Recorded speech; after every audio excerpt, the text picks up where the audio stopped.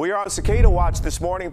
Police and our people in Mount Prospect say they are seeing the first sightings of the historic emergence of two broods at once. Look what we got.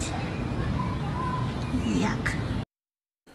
Melanie Blank Schaefer posted this video on social media showing cicada holes in her backyard. CBS 2's Marissa Perlman is getting a first look at the Melanie's discovery live in Mount Prospect. Marissa?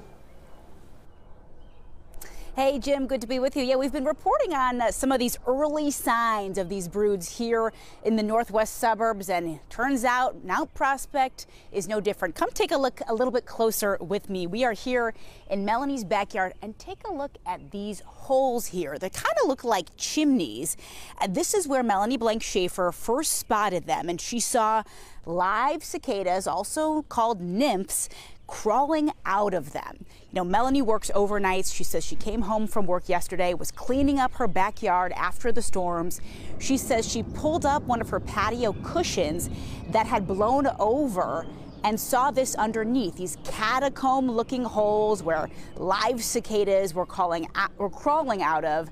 You heard her in the video. She says the whole thing really grossed her out, but she has been watching for them. And we know that after a rainstorm, when the soil temperatures warm up, we can sometimes find these nymphs, these baby cicadas underneath. So again, another discovery here in the Northwest Burbs. I want to send it back to you, Jim, and to meteorologist David Yeomans. Talk to me about what you think this looks like.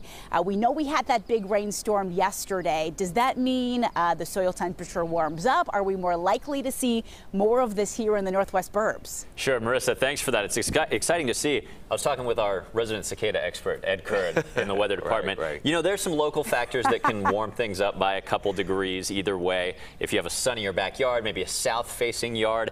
Most of our temperatures, though, are not quite there yet, so most uh, of us still waiting. Okay, very good.